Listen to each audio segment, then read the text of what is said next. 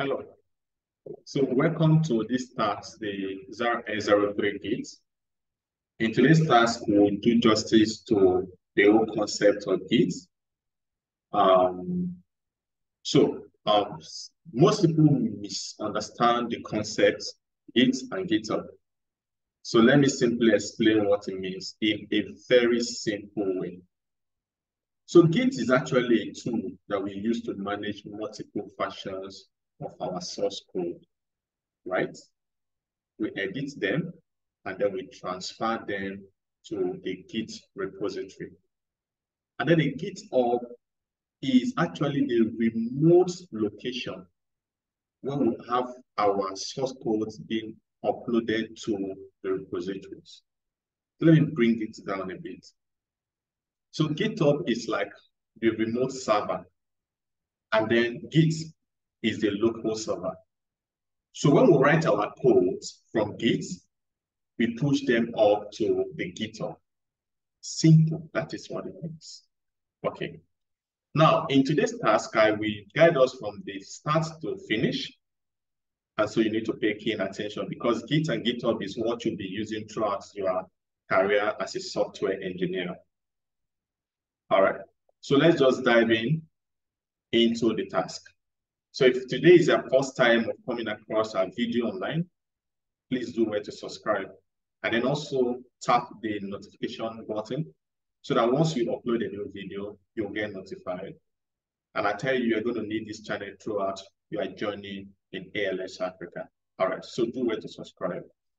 And if you have any issue with any of our code, you can just um, um, put in the comments or um, contact us on social media and we'll do justice to that.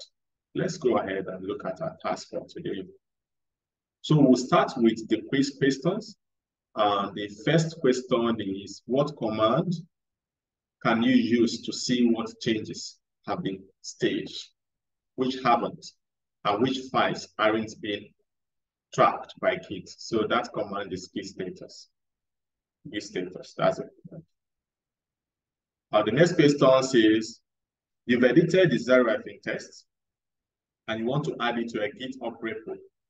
What is the correct command to add only the zero test? The correct command is git add zero hyphen text. Git add zero hyphen text. All right. Let's go to our task. So the first thing is to create and set up a Git and GitHub account. And to do that, simply click here to sign up if you've not done that, but I'm sure that a lot of us have done that already. So I will just skip this step, but if you've not, please click here, set up your account. Make sure you note your email address, especially if you have multiple, and also note your username because you will need it later on as we progress in this task. Now, the next thing they want us to do is to create a personal access token on GitHub. So let's just go ahead and do that. So this is my GitHub account. Here, I will just go to this drop down by the profile picture and then go to settings. And then from there, we are going to developer setting, click on developer setting. And from there, we'll use the personal access token classic. Make sure you use classic, not the fine grain. And from here, we're going to click on generate new token, and then we're going to use the classic token. All right. Here, give it a name. I'll just say LS projects, and then I'll just check everything because it's a public key for now, since I'm using it for this project. So I'll just check everything. So please go ahead and just check um, all the boxes. Great, so create and generate. Voila. So here we have your token. Copy this token. Once you close this session, or once you leave this page, you will not have access to this guy again. So make sure to save your token where you will see it. All right, make sure to save it where you will see it. So whenever you need it, you can always go back because you will always need this token to clone your repo. Anytime you have a new repo, you need to clone. Now let's go ahead and see what they want us to do next. Step two, they say you should update your profile on the intranet. So click here, my profile, and go ahead to update your profile. Or you can click here to update your profile. Why do you need to update your profile? You need to put your GitHub username there. So update your profile by adding your GitHub username. Now the next thing they want us to do is to create our repository. So they say we should create a repository and the name of the repository should be ALX hyphen zero underscore day. So I will just copy the name and then we'll head up to our GitHub to create our repository. So from this plus sign, click on the drop down new repository. And then the name of the repository is ALX hyphen zero underscore day. I will have a description. So let's go ahead and copy our description. And um, I will just paste it here under the description. So go ahead and create a repository here just after the description. Okay, so here we have a repository created ALX hyphen zero day. Now let's see what they want us to do next. So here, let's say we should open a sandbox. So here you're going to open a sandbox. So once you click get a sandbox, get a sandbox, click on it, you should have something like this, webterm, click on webterm, and the sandbox will be open to you. So that's where you're going to do your task, all right? Now let's go ahead. I'm not going to be using sandbox for this. I'm going to use it, using my Ubuntu. So let's go ahead. So on the intranet, just under the task, click on the button, get sandbox and run to start the machine. Once the container is started, click on webterm to open a share where you can start working from already. Now, step five, they want us to clone our repository. On the webterm of the sandbox, do they follow you clone repository? So let's go ahead and do that. We're going to clone our repository. And to do that, we're going to use the command git clone. So git clone space https colon double forward slash, and then we're going to paste our personal access token. So I'll just copy mine now and paste here. So once that is done, we are going to put in at github.com forward slash your username and then the name of your repo. So I'll just copy this from my username here all the way to .git and go ahead and paste it in, then enter. Okay, so now they say unable to, oh, okay, there was an error.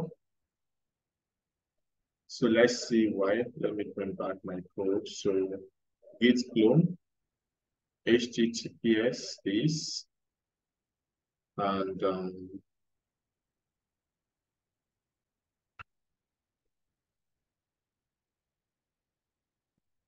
so HTTPS github.com so that is not a comma, it's dot. So after the at GitHub, so is dot com. GitHub dot com.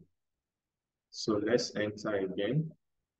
So here we have cloned our repository. Right. So it's at github.com, not comma com. That was my error. Let's go ahead and cd into our new repository to make sure that we actually clone it. So ALX hyphen zero day. So here we are. So if you ls, you see that you have nothing there. Let's clear our terminal. Now let's see what they want us to do next. Um,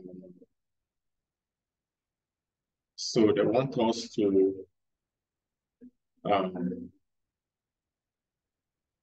um, so we've created a repository, we've um, cloned a repository. So the next thing they want us to do is to create um, the file readme.md with the content my first readme. So let's copy this, my first readme. They will now create a readme inside the ALX zero day repository. So let's do that. So we're going to use the echo command. You remember this command echo, and then we'll paste in uh, Sorry, I need to copy that again.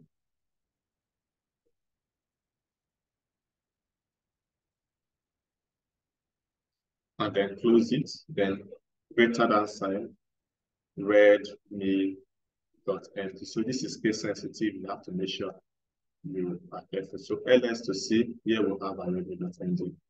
Now let's see what they want us to do next. Here they say we should update our identity or git identity.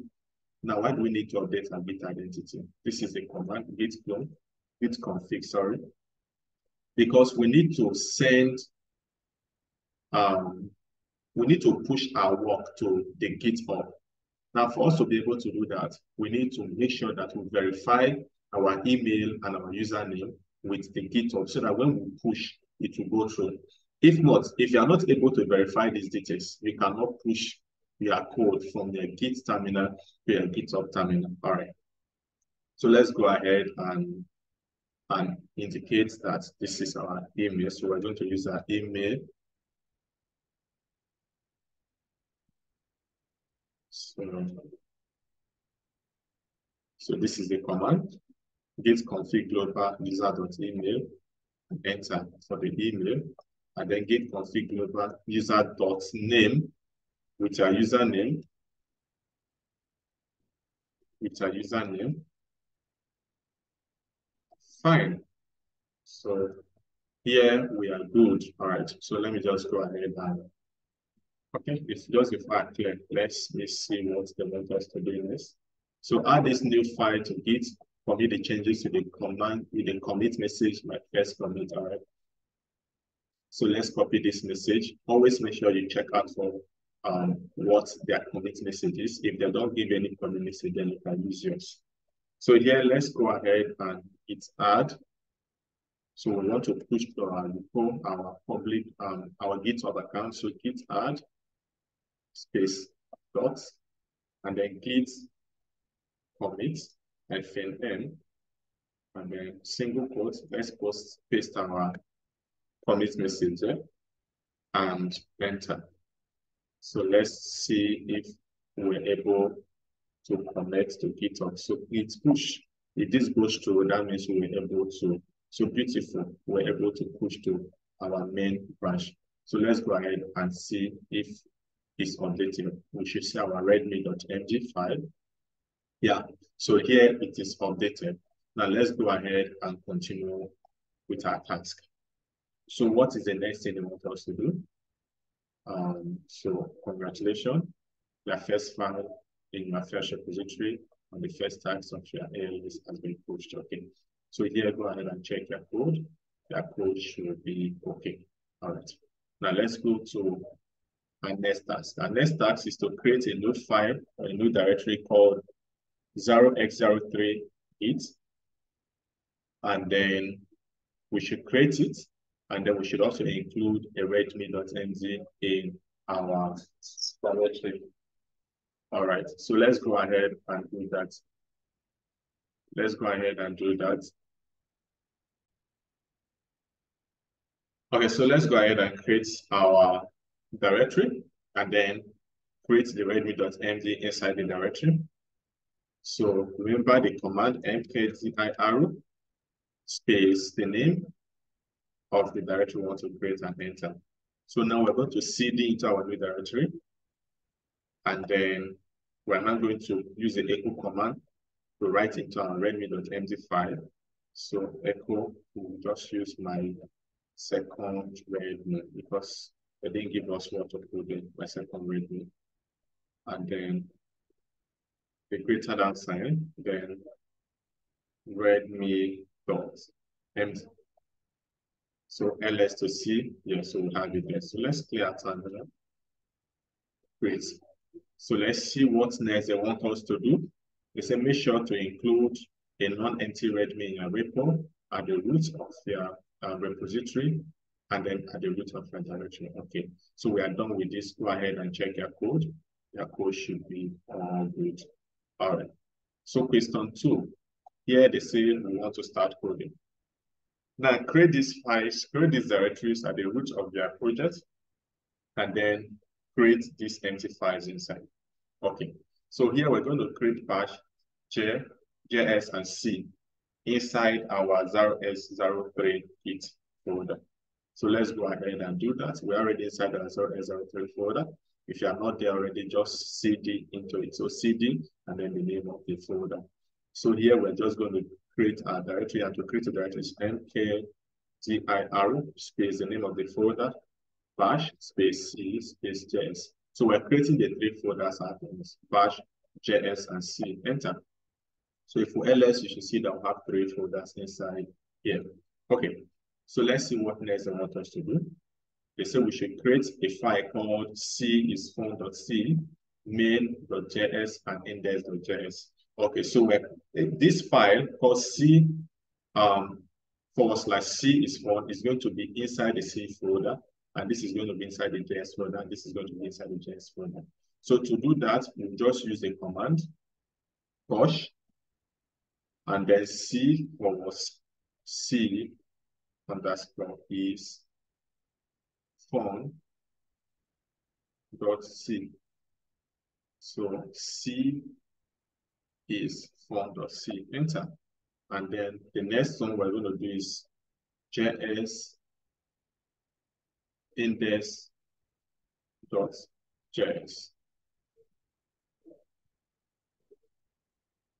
Oh, sorry, the touch command. We need to include the touch command. So touch. Don't forget that. Yeah. So let's create the next file, which is main.js. Okay. I think we've done justice to that. So if we cd to C, our ls, we should see that we have a folder called C is phone inside.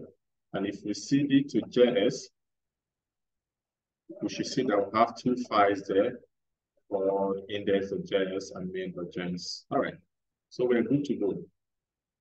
Now, the next thing they want us to do is to create a file called ALX inside the bash directory or folder with these two new lines called the shebang and then the echo ALX. So let me just copy this and then go ahead to create our file.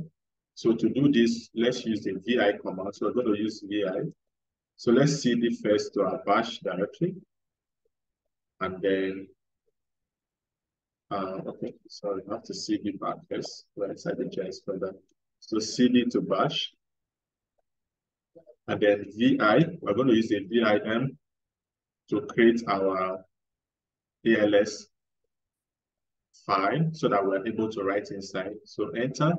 Now, I to insert, and we're going to paste this, and then copy this also, and paste inside. All right, so enter and paste. So to exit and save, we're going to use escape colon WQ. Enter. Okay, so let's see what they want us to do next. Now they want us to create the file called school, and inside the file, we should also write these two lines inside. So let's go ahead and do that. Same inside the bash directory. So we're going to do vim again, and then school. Enter. So I to insert, I to enter the insert mode. So we'll paste this. Then let's copy this file and paste. So let's go ahead and paste this file and then escape column WQ. So we are done with this. So if we cut ALX, you should see that we have this inside. If we cut school, you should see that we have this inside. All right. So we're good to go. Let's see what next they want us to do. Now they say that we should commit, and then this is a commit message starting to code today. So cool. Okay. So it's a commit message. Let's go ahead and hit add, remember. So we have to cd back to our main directory. So cd dot dot to get back to our main directory so that we can push everything to the GitHub. So let's go ahead and git add space um, git commit hyphen m single quotes. All right, then go ahead to paste this. Now we're going to git push. So git push. All right. So now since you git push, if you go to your repository, you should have your new files listed in your repository. Okay, so here you can see that we have our new files listed in our repository. So that we are done with this.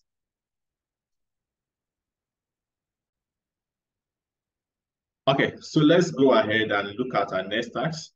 So our next task says that a branch is like a copy of a project. It's used mainly for adding a feature in development, collaborating on the same project with other developers, not breaking your entire repository, not upsetting your co-workers.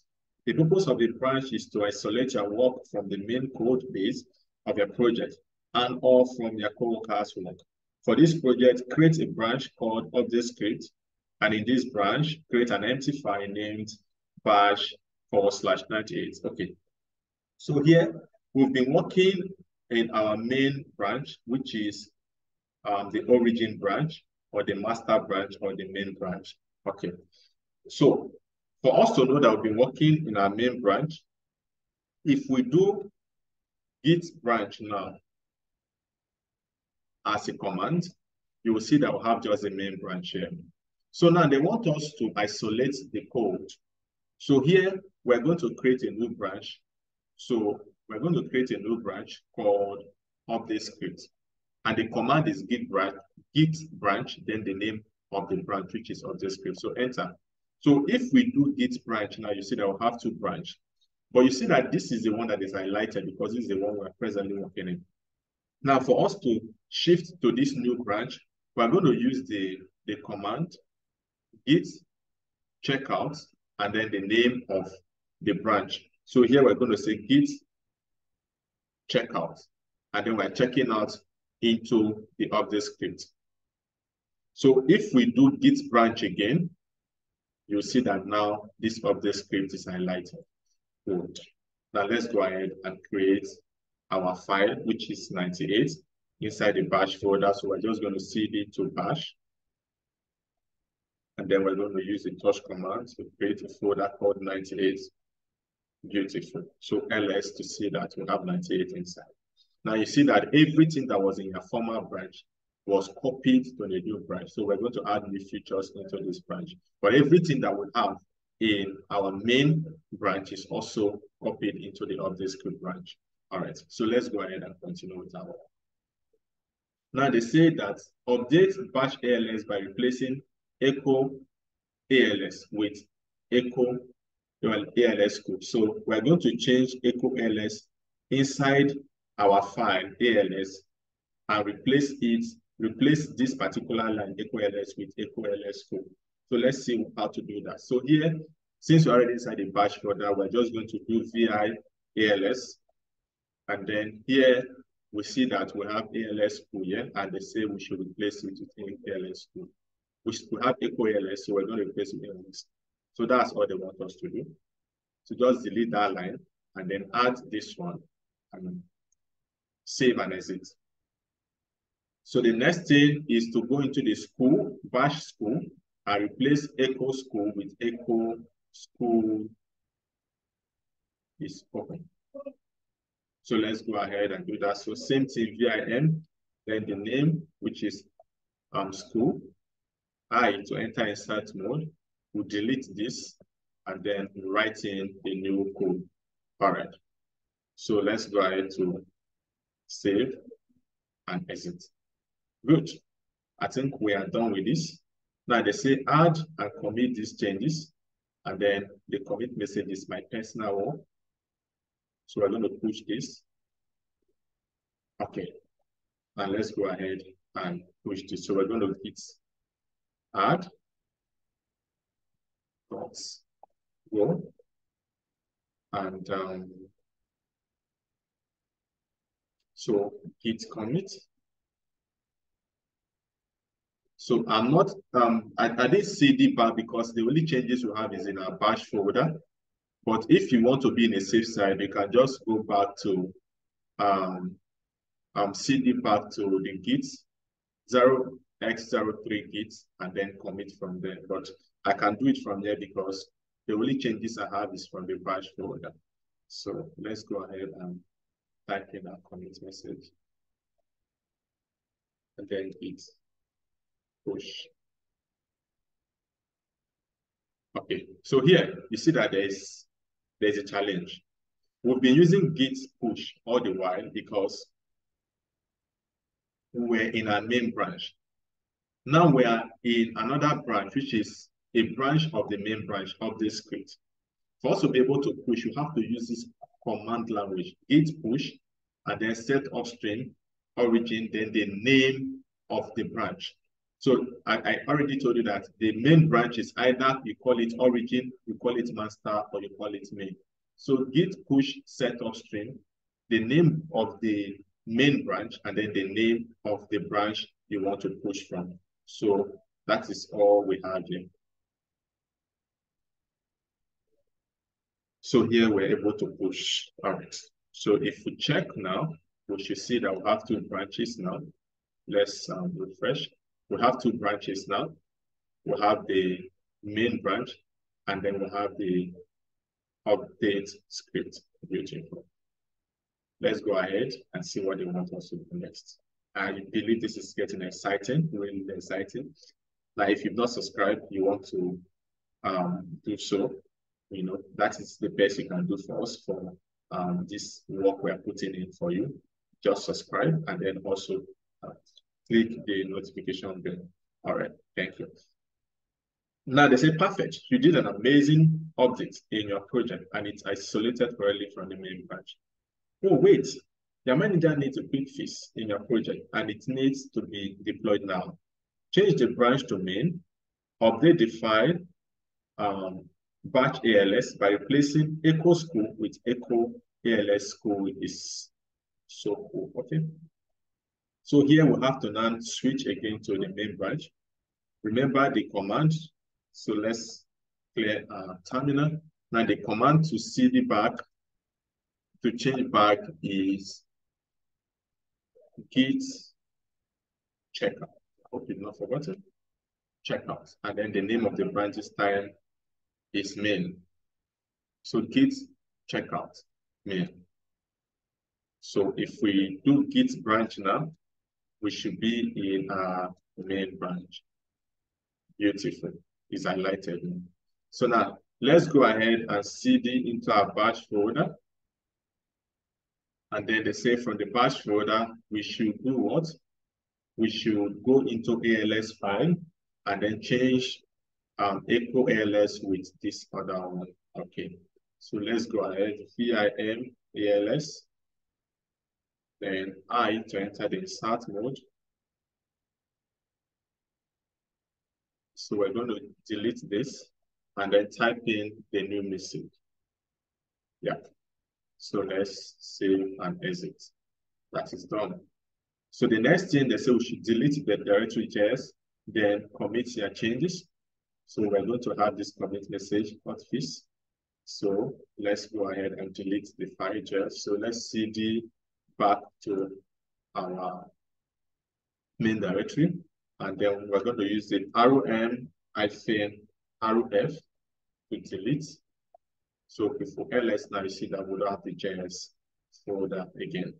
Now we're going to add. So git add. And then git commit. FNM single quote with the commit message outfit outfits. Sorry, that's all. Enter. And then git push. Here we're in the main branch, so we can push using using the git push command. Okay, that is done. Let's clear our terminal. I always love to clear my terminal. Now, what is the next thing they want us to do? Is to check our code. So let's go ahead and check our code. So everything is fine. Let's move to the next task. Now, the next task, they say collaboration um, collaboration, so be up to date. Now they say, of course, you can also work on the same branch as your co-workers, and it's best if you keep up to date with the changes. For this task, and only for this task, please update your file readme.md in the main branch from github.com is the only time you are allowed to update and commit from GitHub interface. After you have done that in your terminal, get all the changes of the main branch locally. That is your readme.md file with the update. Create a new file, update up to date at the root of your directory, and in it, write the git commit line used. Okay. So here, we're going to go to our GitHub account, and then we're going to edit our readme.md file. So click the pen icon, and let's just edit. So here, we're just going to see um, readme, my first readme, um, let's see, updated copy. And then we have to commit changes. Okay, so we've changed, we've been able to edit our readme.md. Now they say we should have, we should get all the changes of the main branch locally. So how do we do that? Since we are already in the main branch, we're going to use the command git pull to pull from our GitHub into our distinct, our um our terminal to be able to have the changes. Now let me explain this. If you cat readme.md now, you see that we still have um, the message my second readme for this particular one. Now, if we cd back, and then we cat our readme.md again, you see that we still have this, my first readme. Now, what they want us to do is to make sure that we update that my first readme to this, which we have in our GitHub now. So for us to be able to do that, we're going to use a command git pull to pull down this particular object. So if we use the command git pull now, git pull. Now, now we've been able to pull. Now let's see if we've been able to pull. If we cat readme.md again, it should be updated. Yes. So now you see that there's a difference between this and this. So that is what I say we should do. So let's clear our terminal and then go ahead to see what they want to do next. So the next thing they say we should do is they say we should create a file. We should create a new file up to date at the root of our directory. And in it, we should write git, the git command line use. Okay, so here, we're going to cd into our 0x03. And then we're going to create a new file called no, up to date. Let me just be sure. Up to date. Let me copy this. Up to date. So paste up up to date. Okay, so now we have to cd, let's use the vim, so up to date, and then VI so that we can write the command we use to pull, and the command line is what? Is git pull. That was what we used to get the changes locally. So that's all you need to write inside your file called up to date. So escape column WQ to save and exit. So if you cat up to date now, you should have the git pull um, command inside. That is all they want us to do here. Now they say add up to date to git commit, and then the message should be how to be up to date in git. And then can then push to our GitHub. Let's go ahead and do that. So we're going to git add. Um, yeah. git add, and then git commit m, and then git push. I know you should be um, conversant with these commands already. So let's go ahead and play our time. All right. So let's check our code. So everything is okay, hot test passed. Let's see the next one. So the next one is collaboration is cool, but not really when you update the same file at the same time. To illustrate that, please mesh the branch of the script domain. Cool. All my changes will be now part of the main branch, ready to be deployed. Okay, so let's go ahead and git merge. So the command is um, git merge.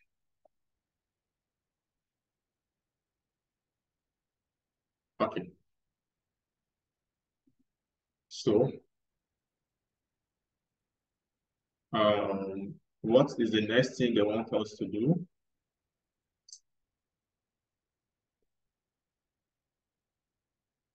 Okay, so for this file, um, here it's saying that um, it's already up to date because I'm using Ubuntu. I'm not using um, a sandbox terminal, so it's it updates the branch automatically. What I'm going to do for us is I'm going to put in the steps.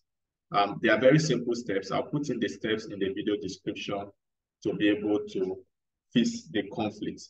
Because here, you are going to have a little conflict to fix.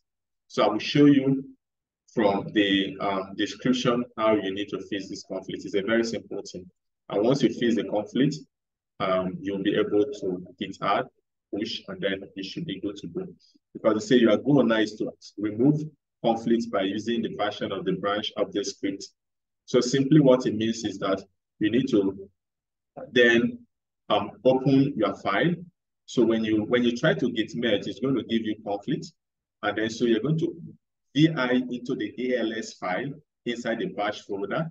And then you would delete everything apart from the shebang. The shebang is the hash hyphen bash forward slash bin. And then you delete everything and leave the version of the update script, which is ALX school is um, so good. So I'm going to check that and then I'll put in the description for you to use. And once that is done, um, you just go ahead and git add and push. All right. And then you should be able to check their code. And then the last one says, create a git ignore file and define a rule to never push. Okay. Now we're going to create a file called git ignore. And then, so git ignore simply, it's that file that ignores files and then make sure that they are not pushed to the GitHub repository. So we're going to create this file and then we're creating inside the um, 0x03 Git repository. So let's go ahead and git push and paste. Enter. Now, if we ls, you are not going to see this file because it's a git ignore file. It's not visible, it's an hidden file. But if we do vi, vim dot git ignore, you'll see that the file is there. So let's open it. Now we're going to define a rule that we say that don't push this file to GitHub. And so we're going to use the tilde. You know what the tilde is? This is the tilde. Yeah, that's that sign. This is the tilde. All right. So we're going to use this this sign here. The tilde. Now go ahead and um, go ahead, save and exit. All right. So once you do this, you remember you are not pushing this because even if you push, it's not going to respond to it. So just go ahead and um, check your code. Just put it the tilde, save and exit. Go ahead and check your code and you should be good to go. Yeah, so this is the end of our task. Um, thank you for staying through to the end. For question five, um, look at the description of this video and sort out question five. Uh, make sure to subscribe and then um, check us in your next times.